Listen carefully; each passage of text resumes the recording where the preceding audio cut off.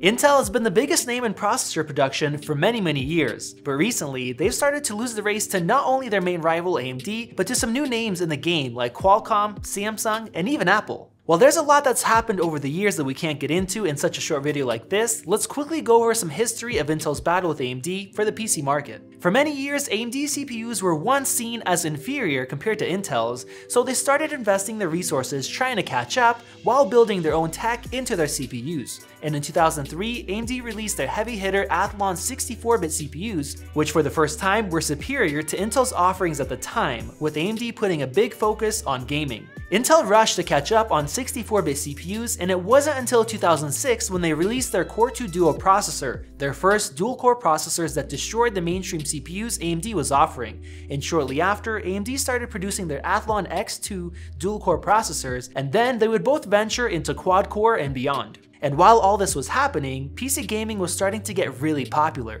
and a lot of gamers had to decide between a mainstream Intel processor or a more budget-friendly AMD CPU. Being in my early teens back then, I went with AMD's Phenom 2 955 Black Edition quad-core processor that I was able to overclock and run some of my favorite games. And while AMD was focusing on putting out more cores, Intel decided to mostly stick with quad-core processors for many years, enjoying the bulk of the market share and providing a wide range of processors for companies like Apple, all the way from low-end chips to high-end Xeon server chips. In the meantime, there were some new players entering the game. In 2011, ARM Holdings announced their first 64-bit mobile chips, and in 2013, Apple announced the iPhone 5S, the first 64-bit smartphone packing their own A7 chip. And with smartphones becoming increasingly more popular, Apple and Android smartphone makers continued to fight to create the fastest mobile processors for our phones, but no one was expecting mobile chip performance to grow so quickly. We'll dig deeper into that in just a minute.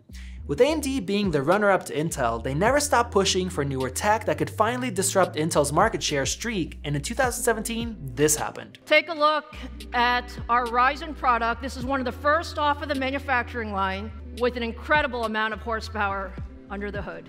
AMD released their first line of Ryzen 7 processors, offering very impressive performance for much less cash than Intel's competing chips. While this was happening, Intel was already in trouble, having a very hard time moving their 10nm process. In fact, in 2013, Intel claimed it could produce 10nm chips by 2015. Then they changed it to 2016, then to late 2017, and then late 2019.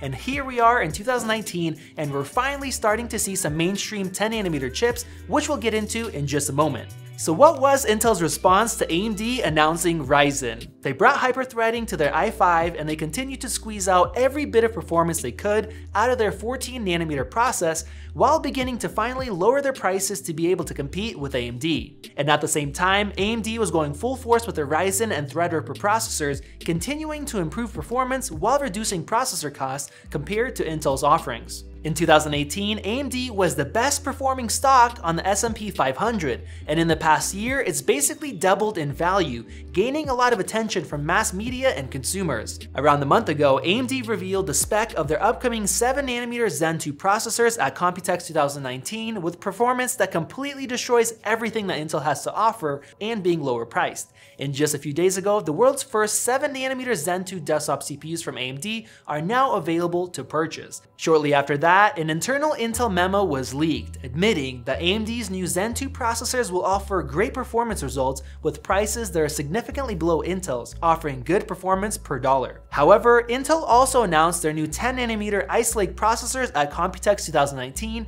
and they're packing more performance and a lot of new technology, like integrated Thunderbolt 3. Their 10nm chips are coming to thin laptops and tablets first, like Dell's 2019 XPS 13 2-in-1, which should be coming soon. Unfortunately, it may may be already too late for Intel. They've been behind for a couple of years now, giving AMD a chance to swipe up some market share, especially since Intel processors have been experiencing some major security issues with the recent Spectre and Meltdown vulnerabilities. Intel is going to have to come back strong in the years to come to compete with AMD, but I haven't even talked about the relationship with Apple and how they could be losing their business very soon. As many of you know, Apple's MacBook Pros have been experiencing thermal issues in the recent years, and here's why. While Intel was promising that their more efficient 10nm processors would be coming soon, Apple is working on their 2016 redesign of the MacBook Pro, making it as thin as they could possibly make it while packing awesome performance. Unfortunately, Intel's 10nm processors weren't ready for the initial 2016 release of the MacBook Pro,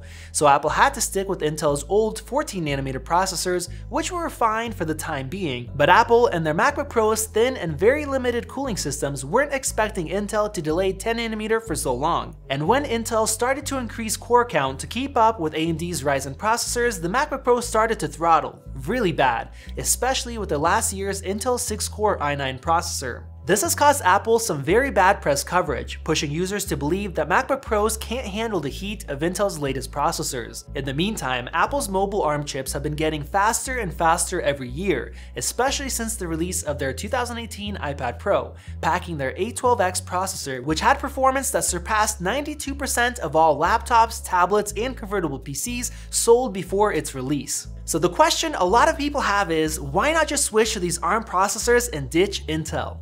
Well, that's exactly what Apple's been working on.